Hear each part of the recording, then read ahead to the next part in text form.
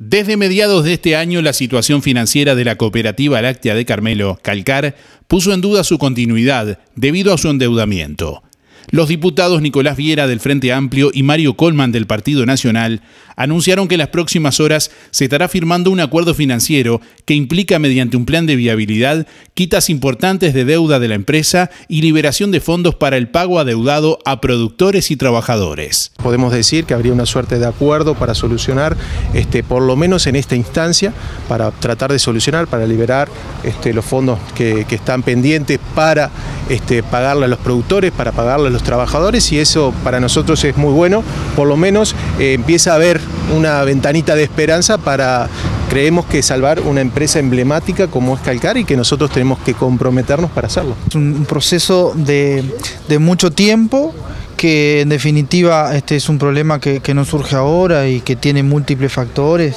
eh, que van desde la materia prima hasta las capacidades productivas de la empresa, pero que entendimos, este, todos los que de alguna forma u otra conocemos el problema, que aquí han existido voluntades importantes que han,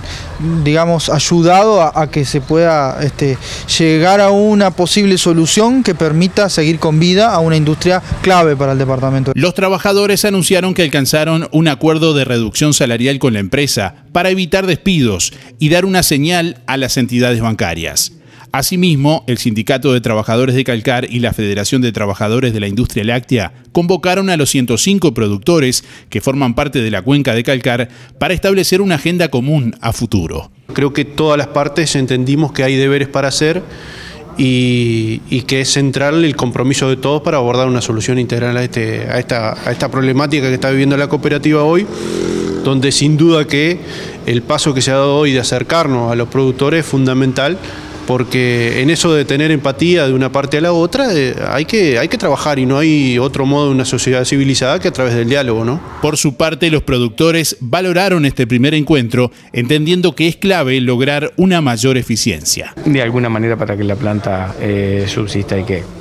mantener lo que la, la, masa social o los productores, bueno, y sin duda que eh, eh, todo lo que tenga que ver con la, con la eficiencia en los procesos de producción, lograr hoy eh, la mayor eficiencia para poder transmitir eso a precio productor y a precio de materia, de, la materia que se realiza, ¿no? Entonces, bueno, eso es un poco la, la clave para analizar esto y la, bueno, la salida a calcar, ¿no? Desde Tarariras, Darío Izaguirre, InfoTNU.